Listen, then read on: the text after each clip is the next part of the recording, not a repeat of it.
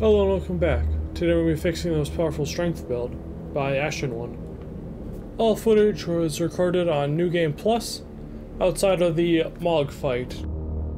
Our weapon of choice, as mentioned, is the Marais Executioner Sword plus 10. The unique skill on this bad boy, Eochaid's Dancing Blade, is the foundation of this build. In our offhand, we have a Dragon Communion Seal plus 10, which we can use for dragon incantations, for mobbing, and extra support. As for the armour, we have the Mask of Confidence, giving us a boost to our arcane stat to help us min-max the stats. And then we have the Briar's set, not just for fashion souls, but also we can damage enemies by rolling into them. Next, let's have a look at our seriously beefy talismans. Millicent's Prosthesis and Rotten Winged Sword Insignia, these are stacking and boosting our attack power with successive hits. Millicent's Prosthesis is also giving us plus 5 to Dex to help us min-max our stats, which we'll look at in a moment. We have the Shard of Alexander, which is boosting the power of our Eochaid's Dancing Blade skill. And finally, the Godfrey icon, which is also boosting our special skill thanks to it being chargeable. In the Flask of Wondrous Physic, I have the Faith Knot Tear giving us enough faith to cast Golden Vow before each fight, and we have the Thorny Cracked Tear boosting our attack further with successive hits by stacking with Millicent's Prosthesis and the Rotten Wing Sword Insignia. This is one of the first major problems with his build. He is using Golden Vow and Flame Grant Me Strength as buffs. And in doing so, he is wasting a physic slot and he is wasting points into faith. Now, on the surface, this isn't really that big of a deal. However, he is losing a lot of damage. With my buffs that I am using, I have the Magic Shrouding Cracked Tear, the Blood Boil Aromatic, and the Uplifting Aromatic. And with those together, that's giving me just under 10% more damage. That's a lot, considering I basically changed nothing about this build.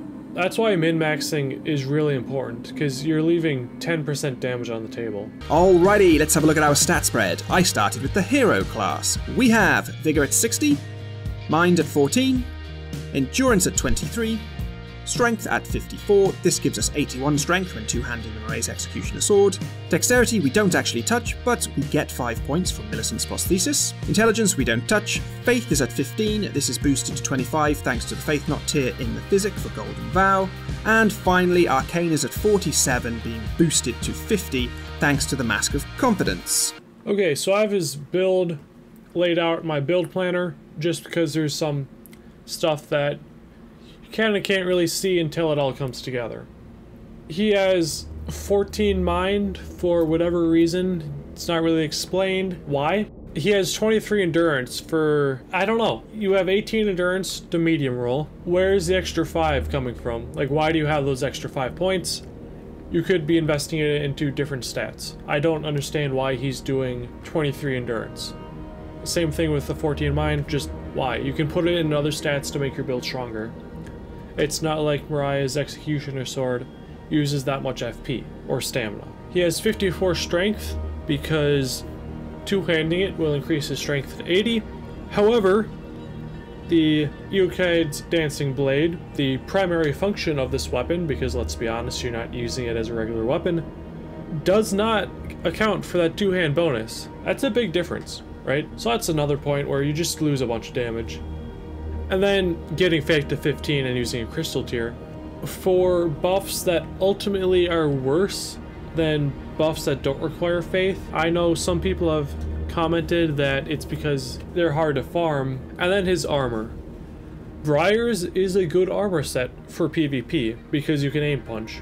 In PvE, it is useless. And it doesn't reach 51 poise, so he's being staggered out of attacks.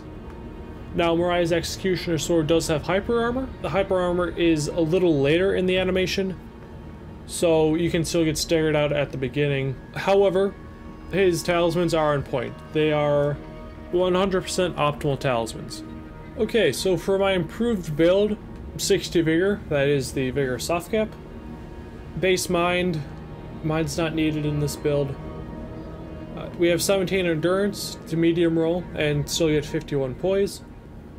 Then we have 72 Strength, which is nearing the Strength soft cap. We have Base Dexterity, which is going to be boosted to 14 with Millicent's Prosthesis to meet the weapon requirements of the Marais Executioner Sword. we have base intelligence and faith, and then we have 47 arcane boosted to 50 with a Mask of Confidence, as that is the elemental arcane soft cap. And that is just the optimal split to once you hit 50 arcane, you should start investing into strength. For the weapons, obviously we have the Marais Executioner's Sword. Its DPS is quite good when you can get the Ash of War off. For armor, we have the Mask of Confidence, obviously to boost our Arcane, the Altered Mausoleum Knight armor. We have the Spellblade Gloves to boost our Ash of War magic damage. We have the Crucible Greaves then, as well. And that's gonna, all in total, get us to 51 poise.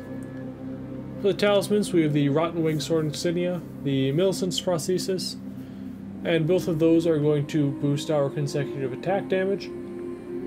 And then we have the Shard of Alexander and the Godfrey Icon, which is going to boost specifically the Ash of War as it is a chargeable attack. And for the Great Rune, we have Radahn's Great Rune to boost our HP, FP, and Stamina. And for the Crystal Tear, we have the Thorny Cracked Tear and the Magic shrouding Cracked Tear to boost our damage even further.